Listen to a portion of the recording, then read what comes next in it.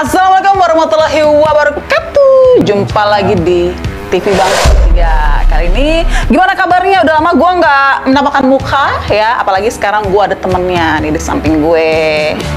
Apa? Lo nggak ngapa ya kesian dia di belakang layar mulu, makanya gue tampilin kayak aja laku gitu ya guys. Gak usah, jangan. Lu, lu mau jual gua? ya lumayan lah, sampingan ya gak? Hmm. Oke, kali ini gue berdua pengen ngebahas sesuatu yang lagi viral banget di jagat raya sosial media itu kalau bukan di SCBD. Dan ini kita juga ada pelopornya. Hah? Pelopor? Belum sempet gua mau ke sono. Bukan. Nyobain gua juga. Oh ya, iya iya iya. iya. Hmm. Karena kita mau ngebahas kan ini lagi viral banget ya. Di mana Iya. ada di TikTok, di IG, di YouTube, ke semuanya deh. Pokoknya nggak nggak habis-habis. Gua bingung dah. Setiap nge-scroll itu tuh pasti nongol lagi nongol lagi. Gua udah udah. Lo nggak ikutan? Pengen ya, pengen nyobain, pengen tahu gitu. Gue Tapi- pengen pengen tahu karakter fashion week lo tuh kayak gimana sih? Hmm, nggak bakalan gue datang ke sono beli nutrisari satu kalau habis pulang Udah cuma gitu doang Iya. ya. Nah, pokoknya sih, gue penasaran banget sih itu SCBD itu sebenarnya tempat apa sih gitu ya? Penasaran banget sampai, wah pokoknya semua muanya penasaran kepo sampai Nah. Bapak Ridwan Kamil juga ikutan loh tadi gue lihat. iya Seriusan? Lah? Kata gue nih kayak gue kenal nih. bukan Sandiaga Uno Hah? bukan Sandiaga Uno lu Iya. eh Bukan Ridwan Kamil. Ridwan Kamil emang iya ya gue nggak tahu gue belum belum belum lihat Oh belum lihat, gue Ah. lihat Bapak Ridwan Kamil itu. Ya udah nggak usah lama-lama kita simak aja video kita yang pertama. Ini deh kita simak. Cekidot.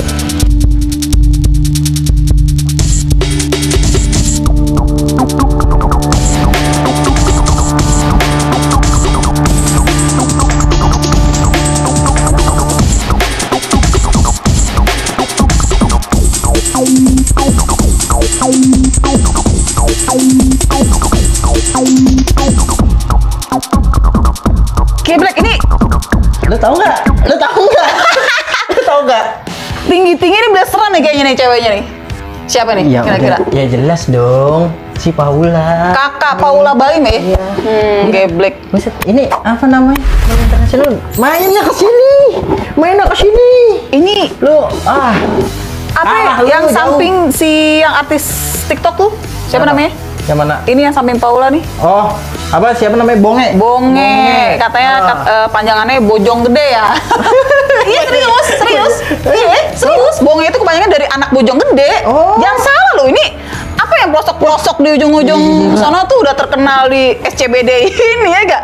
Kalau mau tenar langsung aja datang ke sini ya gak? Gila. Gila itu tinggi banget loh. Kak, Kak Paula langsung semuanya tuh ke sini cuman pengen catwalk sama bonge yang tadinya itu anak bojong gede. Bonge itu banyak bojong gede lu. Kalah lu. Nah, jauh lah jauh ya. Nih, eh, apa ya, komennya tinggi banget ya Kak Paula. Beruntung Bonge bisa catwalk bareng Kak Paula. Ya. Tuh, geblek. Catwalk, cat itu kucing, walk itu Ya. jalan. Kucing berjalan dong jatuhnya. nggak gitu konsepnya nggak diatur satu-satu Oh iya iya iya. Keren keren. Ya oke kita next lagi video yang berikutnya. JJ dan Bonge ingin beasiswa dari Pemprov DKI guys. Wah seperti apa nih videonya coba. Ini video bukan? bukan ini mah cuma ini doang Oh jadi ini dia dia gimana ya dia sekarang mau jadi duta kebersihannya di SCBD emang kenapa kok bisa disebut duta kebersihan? Ya. Ada masalah dengan lingkungannya? ya mbak pak parah deh pokoknya Eh, pahit-pahitnya ya kayak bungkus-bungkus es lah puntung-puntung rokok di mana-mana sekarang jadi gitu cuma saya sangat disayangkan di, di, di situ sih pemprov DKI Jakarta Hmm. mengkampanyekan kebersihan lingkungan tuh Di jadi sekitar duku atas berarti banyak banget duku bertebangan ya? bukan gitu emang nama daerahnya Kan gua duku atas banyak banget duku sama-sama duku. Nggak Enggak. ada. Oh, Nggak ada. iya. Eh mungkin mungkin zaman dulunya emang banyak dukuh di sono. Kan sekarang udah jadi kota. Iya, benar-benar. Isinya gedung semua. Masa iya di atas gedung mau ada pohon dukuh lu? tetap ya kota duku ya. Dan kedua remaja itu disebut meminta beasiswa sebagai fee dari pekerjaannya lantas oh Hmm. ya ya karena di duta lingkungan di SCBD ini khususnya. Kita next lagi videonya lain. Iya, Oh, ya kan? Beasiswa ditolak Begini respon Sandiaga. Sandiaga Uno tak menyangka. Hmm, jika beasiswa yang ia tawarkan kepada Roy remaja Citayam ditolak. Wah, remaja Citayam. Iya. Ini Citayam Bojonggede itu masih deket-deketan sama kawasan gua loh Cibinong. Ya, ya Depok. emang emang tetanggaan kita emang tetanggaan. Oh, mereka. Cuma anak anak Cibinong emang belum ada sih ke sono kayaknya. Enggak, gue pengen ganti nama SCBD Sudirman Cibinong Bogor Depok ya. Citayam mah Enggak. Oh enggak ya? Justru terkenalnya Citayam ya? Nggak ada, enggak. Iya, justru SC, SCBD itu kan Sudirman, Citayam, Bojonggede, Depok. Oh, Bojonggede ya? Kita mah nggak masuk. nggak masuk. Cibinong mah nggak masuk. Ya gue berharap SCBD Sudirman Cib- Cibinong Bogor Depok. Nggak ada. nggak Kan ada bis Bogor Depok juga tuh. Nggak ada. Gua Nggak ada, nggak ada. Ya. Oke, kita eh, next lagi. Sabtu tanggal 16 Juli kemarin, Citayam Fashion Week beneran mengupgrade fenomenanya menjadi next level ya. Karena ada beberapa pemuda-pemudi yang berlenggak-lenggok di zebra cross layaknya lagi catalog nih. Nah, Citayam Fashion Week sebenarnya juga ada penggagasnya yang katanya sih beliau udah nongkrong di stasiun BNI itu sejak tahun 2019 nih. Kita simak aja deh wawancaranya. Oke, aku untuk konten di daerah Sudirman BNI City ini udah dari 2019 kak. Jadi emang udah cukup lama karena kebetulan waktu itu pas eh, zaman pandemi kan, ini tuh bener-bener sepi banget kan. Kayak aku ngerasanya kayak Times Square-nya Jakarta gitu lah. Ditambah aku kayak catwalk as model dengan berpakaian nyetik kayak di. Jadi kayak vibes-nya tuh Eropa banget gak sih? Kayak gitu sih kak. Sebenarnya fenomena Citayam Fashion Week ini nggak terbilang sebagai fenomena yang baru banget ya karena di Jakarta dulu di tahun 80-an juga ada yang namanya lintas melawai. Lintas melawai ini adalah istilah yang dipakai untuk mendeskripsikan para remaja-remaja yang ngehits pada saat itu yang suka nongkrong, suka jalan-jalan di sekitar Melawai Plaza dan Blok M. Biasanya Oh, jadi ini sebelum SCBD udah ada namanya lintas melawai. Iya, Hmm, kata ini dulu. lintas melawai adalah istilah yang digunakan untuk mereka yang suka nongkrong jalan-jalan atau pamer mobil keren di sekitar Melawai dan Blok M. Apalagi Blok M udah terkenal banget di mana Blok M ya. Oh, jadi sebelumnya udah udah udah booming ya, cuman Iya, enggak. Sebelumnya dulu emang pernah ada, cuman kan hilang gitu aja. mungkin dulu Nah, sosmed belum kuat banget kayaknya. Belum ada, malah belum ada. TikTok belum ada. Belum ada. Oh, Eh, Zaman-zaman itu masih masih telepon umum. Telepon umum kayak ada, ya. Kuartel ya gak? Heeh. Pager apa? Iya, yang punya telepon juga mau cuma orang-orang yang orang-orang kaya doang. Hmm, oh jadi gitu ya kata nih. Jangan-jangan nyokap bokapnya remaja tanggung di Citayam Fashion Week itu alumni. oh jadi ini alumni lintas semua ya kayak bokap. Bisa jadi. Hmm, gitu-gitu. Sebelumnya jadi mereka udah duluan yang iniin. Hmm, gitu. Ini di Blok M Plaza. Emang sudah terkenal, terkenal banget ya Blok M ya. Emang, emang udah ini. Ada gitu komennya. Saya angkatan 80 90-an. Gua dong 80-an, tapi 89 coy. Ya gak?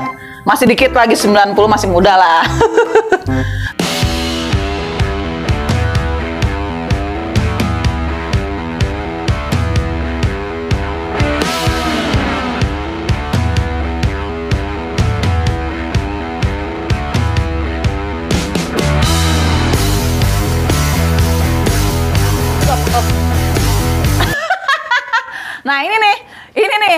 ya. Ini yang gue Nah, suka. ini gue bingung. Sebenarnya SCBD itu kalangan semua masyarakat Ya, atau semua semua masyarakat kalau semua umur. Ya mau itu mah kan mau lansia mau apa juga. Itu mah emang hak mereka lah. Ini kan fasilitas umum juga, ya kan? ini kayak kayak orang asing ya? Ya emang luar luar. Gala gala gala di Ya, kan dia di luar bukan di dalam. Iya, Enggak yang gue tanyain ini Pak D-nya siapa ya? itu dia. Nyari cucunya kayaknya ini. Tapi emang gue salut banget sih ya semuanya kalangan tuh pada kepo ke situ semua tuh. Iya, Oke. banyak. Apa yang bawa-bawa anak kok banyak. Gue sih yang yang hebatnya juga tuh ada juga beberapa orang-orang maksudnya orang-orang tuanya yang ikut-ikutan bergaya begini gitu. Iya biasa kan kalau orang tua zaman now itu suka biasa ngomelin atau Iya. apa gitu orang zaman dulu dan sekarang mungkin beda kali ya. Ah. Mungkin karena orang orang tua zaman sekarang yang muda di zaman dulu. I- iya, udah ngerasain gimana gimana mungkin ngerasain bandelnya. Nah, iya itu. Jadi ya paham lah anak-anak sekarang kayak gimana gitu. Termasuk- lebih, lebih ngewajarin. Termasuk gue. Enggak juga sih. Enggak sih. Ya jadi di situ dia gabung sama anak muda lainnya ya. Iya. Jadi ikut ibarat kata kayak kayak iklan wah gue numpang lewat gitu.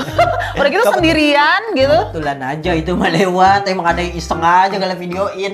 Seriusan. Dia pengen Enggak sih, padahal dia dia mungkin inian juga salah satu apa namanya kru di situ juga Dia ikut bikin konten Iya, terus kapan kita ke sono? Tunggu tanggal mainnya. nanti nanti aja Udah siap? Tapi siap malu maksudnya ya, lu bakalan berubah jadi Harajuku atau Conan atau Ribet banget gua rajukuan rajukuan Ya. gua begitu gitu daripada nanti lu gue suruh jadi Sailor Moon kan? Enggak. Gua taksido bertopeng guys. yang gua takutin begitu bener-bener sama sama kayak ini ya kayak di Harajuku jadinya tau gak lu ntar rambutnya yang Ya dijigrang-jigrang nggak apa-apa lah daripada rambut yang lain ya. ya pokoknya, hmm, Nih, pokoknya kita tonton kita ya dibilang unik-unik sih unik. Kayaknya makin ke sini-sini nanti bakal lebih unik lagi kan. Karena kan orang baru tahunya sekarang-sekarang tuh udah booming booming lebar sampai artis-artis juga pada ke situ gitu. lama-lama lama-lama beneran beneran eh, eh, apa cosplay itu bukan cuma di event doang Iya, kan di sini juga ada nih Ini tempat ajang yang di mana uh, modalnya minim buat Iya. cosplay cosplay biasanya modal minim. Yang biasa di pinggir jalan itu kan kayak ada Ultraman, ada ada Superman. Ya gitu Nah itu pada di sini bagus tuh. Boleh nggak sambil bener sampingan? bener bener bisa kan? bisa bisa bisa Lah, walaupun yang di jalan-jalan di catwalk ini jadi sorotan. Walaupun di lampu merah kadang dicuekin ya gak? Di lampu merah dicuekin di sini, wah jadi ajang. Uh, paling keren. ya pokoknya ya gitu dah ya. Kita bakalan bahas lagi nanti ya. Bahas lagi yang lebih lebih viral lagi ya. Oke, sampai di sini dulu aja bersama gue Miss Fitri dan Ashriansyah. Kapan lu? Jangan ke mana-mana tetap di YouTube channel TV Bang Putri. Like, comment, and subscribe.